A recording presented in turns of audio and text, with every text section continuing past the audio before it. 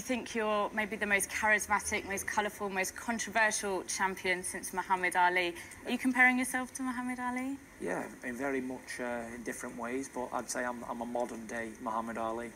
Shut the fuck up!